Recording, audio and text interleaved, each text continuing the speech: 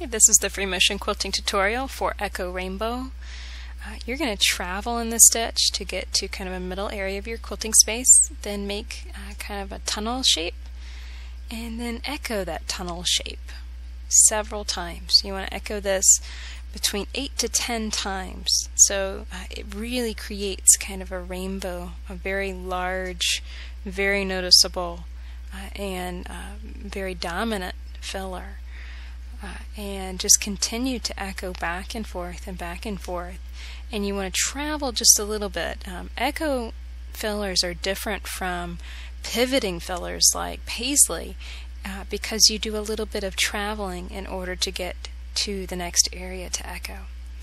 And uh, when once you fill in the first rainbow, then you're going to travel again to create the base of the next rainbow and then just continue to produce rainbows and then stack them on top of one another to create Echo Rainbow. And that's what it looks like to finish. And for more free motion quilting videos, check out daystyledesigns.com.